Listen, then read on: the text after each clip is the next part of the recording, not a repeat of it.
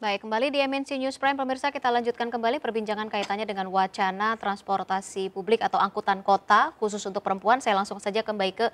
Baike, kalau dari pandangan Anda, jika memang wacana ini akan uh, tetap digulirkan begitu ya dan memang akan tetap diadakan di Jakarta, hmm. apakah memang ini bisa menjadi salah satu solusi untuk mencegah pelecehan seksual? Dan kalau uh, kaitannya dengan uh, masyarakat kita atau sosial uh, kehidupan masyarakat kita saat ini, apa mungkin solusi yang bisa dilakukan untuk uh, menekan, benar-benar menekan kaitannya dengan kasus pelecehan maupun maupun kekerasan seksual. Oke, kalau memang bisa ini kan belum disahkan kan ya? Berarti baru wacana. Baru wacana. Berarti kan masih ada uh, bisa PR menghasilkan masih banyak PR masih banyak. Dan ya. makanya tadi saya bilang harus ada stakeholder yang terlibat. Jadi tidak hanya dari ya dari Kemenhub juga, dari. Komnas Perempuan juga hmm. gitu loh kan. Jadi ada semuanya uh, terlibat dalam kebijakan ini sehingga menghasilkan satu kebijakan yang solutif. Hmm. Kembali lagi bukan kebijakan yang hanya responsif saja. Okay. Gitu loh. Jadi tadi pertanyaan bagaimana uh, mencegah ya? ya. Oke. Okay. Tadi bagaimana mencegah dan kembali, menekan sebenarnya untuk kasus pelecehan uh -huh. seksual ini. Harus ada sinergi.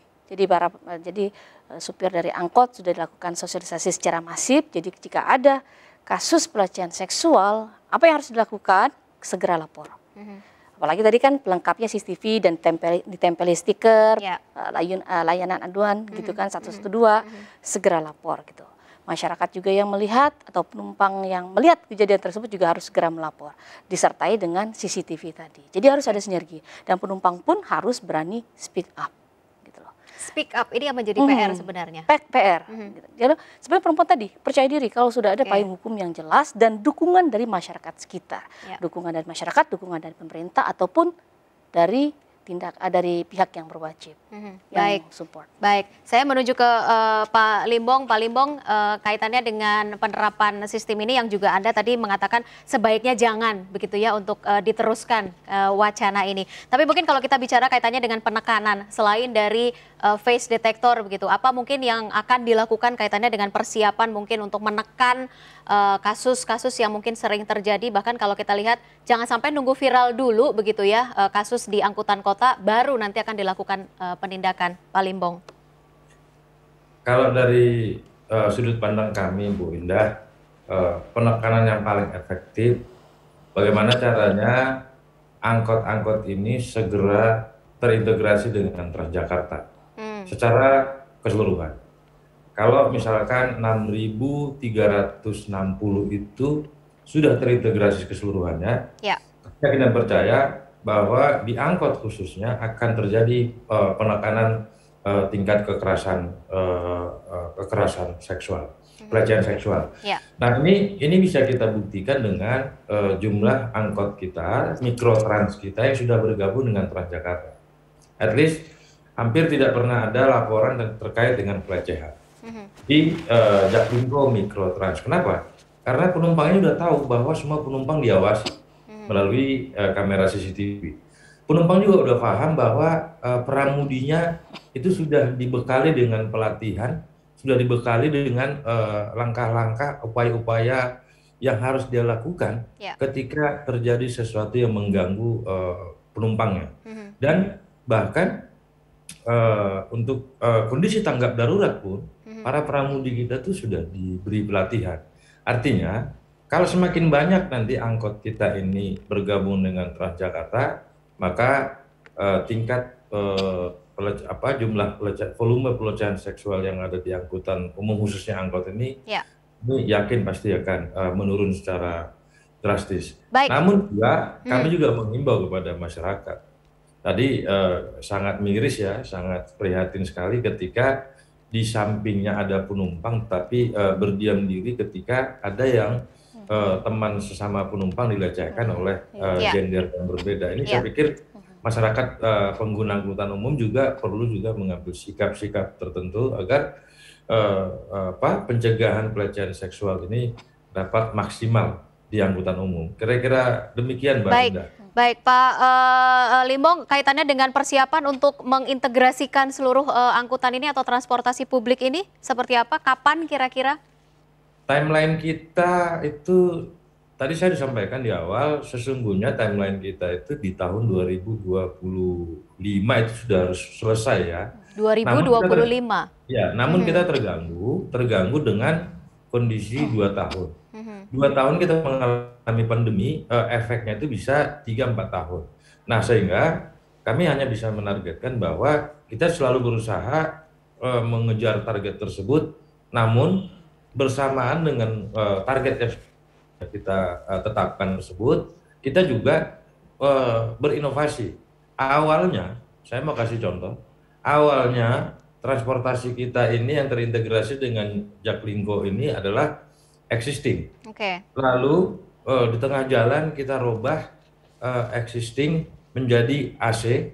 Ya. Lalu sekarang AC plus telematik dan plus perangkat-perangkat keamanan yang yang sudah sangat uh, sangat mumpuni jadi hmm. sehingga uh, menjanjikan keamanan dan kenyamanan. Hmm. Ke depan seluruh yang tergabung dengan Transjakarta ini akan dilengkapi dengan perangkat-perangkat seperti tadi. Ya.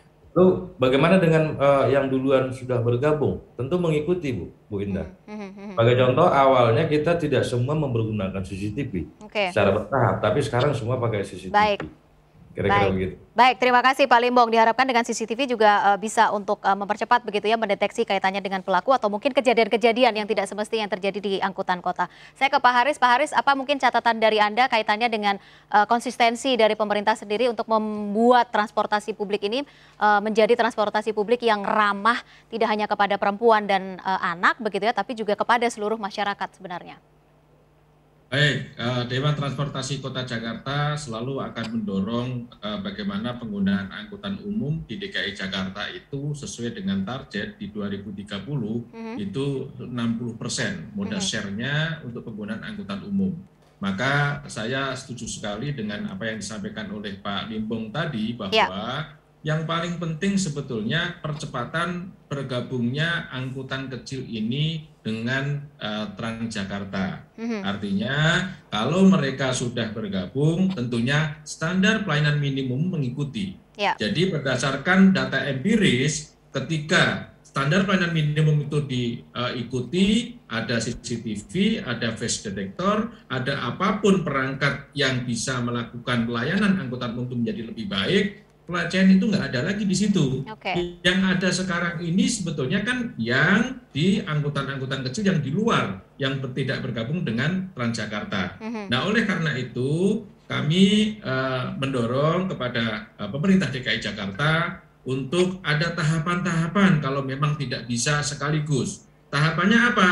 Ya, uh, kalau sekarang 20% ada target, apakah mungkin tahun 2025 nanti uh, bisa 50 persennya. Nah, 50 persennya lagi dengan crash program uh, untuk uh, pengadaan CCTV uh-huh. Mhm. yang bisa melengkapi uh, ketika mereka belum benar-benar bisa bergabung dengan uh, Transjakarta layanan Jaklingko. Ya. Demikian, ya. Mbak. Artinya harus sesegera mungkin juga begitu ya untuk sarana penunjang oh. ini kaitannya dengan pencegahan. Betul, betul sekali. Jadi itu harus ada crash program menurut saya. Baik, saya ke Ibu Andi. Terakhir, Ibu Andi, kalau tadi dari sar sisi sarana penunjang sebenarnya sudah banyak yang akan disiapkan CCTV, kemudian juga face detector atau mungkin juga stiker sebagai penanda, termasuk juga uh, kaitannya dengan pos sapa yang juga menjadi salah satu uh, penunjang kaitannya dengan pelaporan dari Komnas Perempuan sendiri, apalagi yang mungkin memang uh, harus begitu ya dijadikan sebagai rekomendasi untuk kaitannya dengan pencegahan, termasuk juga untuk penindakan terhadap pelaku pelecehan seksual ini? Hmm. Um, tentunya pertama saya ingin menegaskan bahwa memang dalam mengambil kebijakan itu kita perlu hati-hati dan cermat ya. ya. Di dalam proses ini prinsip uji cermat tuntas menjadi sangat penting dan tadi saya sangat senang bahwa Pak Limbong dari Organda juga uh, menyetujui ya bahwa sebetulnya pengadaan angkutan khusus perempuan ini uh, sebetulnya tidak uh, efektif dan juga tidak tepat karena justru akan menjadikan ruang diskriminasi baru dan bahkan prasangka baru terhadap korban mm-hmm. yang justru akan menyulitkan kita untuk menghapuskan uh, dan mencegah kekerasan seksual khususnya pelecehan seksual di ruang publik. Okay. Nah, uh, selain itu tentunya hal yang perlu kita pastikan adalah upaya penegakan hukum ketika ada pelaporan yang terjadi dan hmm. ini membutuhkan kerja bersama lintas sektor. Ya. Yang terakhir mungkin juga memang kita perlu segera uh, memperbanyak juga kampanye-kampanye untuk mengingatkan orang di semua ruang ya bahwa pelecehan seksual itu adalah sebuah tindakan pidana yang juga keji jika dikenakan kepada siapa pun, tidak saja pada orang yang berlawan jenis, tetapi juga pada orang sejenis, tidak saja kepada orang dewasa, tetapi juga kepada anak-anak. Dan ini perlu terus-menerus diulang dan menjadi bagian yang integral, ya. tidak saja pada uh, sektor pendidikan yang formal, hmm. tetapi menjadi wacana yang menghiasi ruang publik kita, sehingga itu menjadi kesadaran yang juga pada saat yang bersamaan tanpa sadar itu diimani dan diyakini menjadi nilai yang harus kita teguhkan bersama. Hal lain yang kami khawatirkan adalah main hakim sendiri ya. Mm-hmm. Karena kan orang sekarang makin gemes ya bahwa yeah. ini kok udah banyak aturan, udah banyak upaya, tetap aja ada orang yang melakukan pelanggaran ini. Karenanya kami juga berharap di dalam upaya penuntasan kasus kekerasan seksual uh, masyarakat juga menahan diri untuk tidak melakukan penghakiman uh, sendiri, tetapi juga mendorong agar proses hukum ini bisa berjalan. Baik, pelajaran juga bagi masyarakat begitu ya, butuh konsisten, tidak hanya butuh konsistensi sebenarnya dari pemerintah untuk uh, melakukan berbagai macam upaya kaitannya dengan uh, pencegahan untuk pelecehan seksual. Terima kasih Ibu uh, Andi Yentriani, Ketua Komnas Perempuan, Pak Haris Muhammadun, Ketua Dewan Transportasi Kota Jakarta, Pak Berman Sama. Limbong, uh, selaku Ketua Unit Bis Kecil Organda DKI Jakarta sudah bergabung pada malam hari ini bersama kami. Baik, terima kasih. Terima kasih, sudah hadir. Rizka. Tentu saja wacana ini kita doakan uh, memang benar-benar menjadi alat untuk mencegah kaitannya dengan uh, maraknya kasus pelecehan maupun kekerasan seksual yang tidak hanya sebenarnya terjadi di transportasi publik tapi uh, bisa saja terjadi di mana pun dan harus diingat bahwa pelecehan seksual ini adalah tindak pidana yang memang harus segera diselesaikan oleh aparat kepolisian. Dan pemirsa kita masih ada satu segmen ke hadapan Anda pada malam hari ini. Kami akan kembali di MNC News Prime sesaat lagi.